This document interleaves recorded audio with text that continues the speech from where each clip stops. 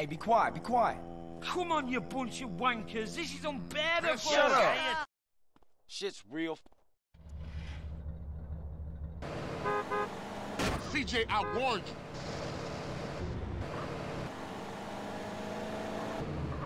There ain't no justice, man. How does scum like Tenpenny stay on the streets?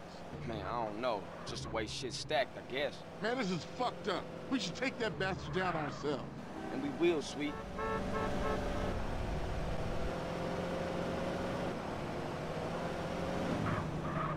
So who's the weird Brit? What? Oh, Maccer. He got a little problem he can't control. What kind of problem? He can't stop, you know, giving himself a little bit. What, you mean he likes to consult Professor Hans jerk-off? yeah, regularly. Spank the monkey? Yeah. Take Pomula out? Quit it. Birth the worm? Enough, man.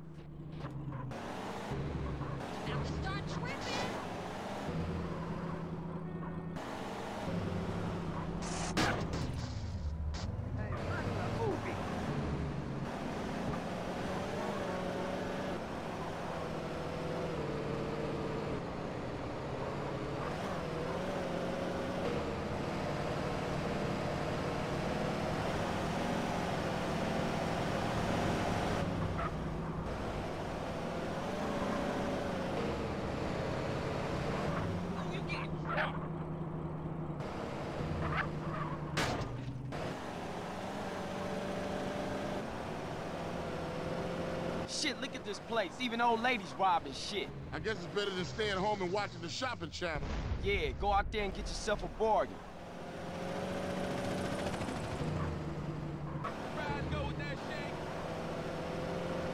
Shit, man. People real mad. Tenpenny responsible for all of this.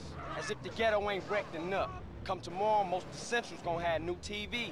Look at them like angry kids and some shit. They just tearing up their own neighborhood. Nothing good is gonna come of this.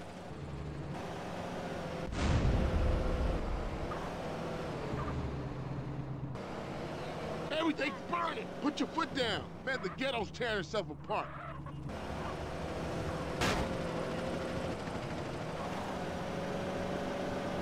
Asshole! Why you hitting people?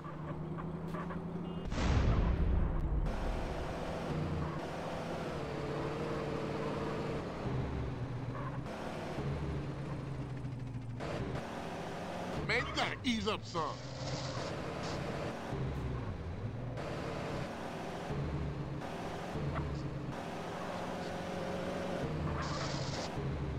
Man, what is your problem?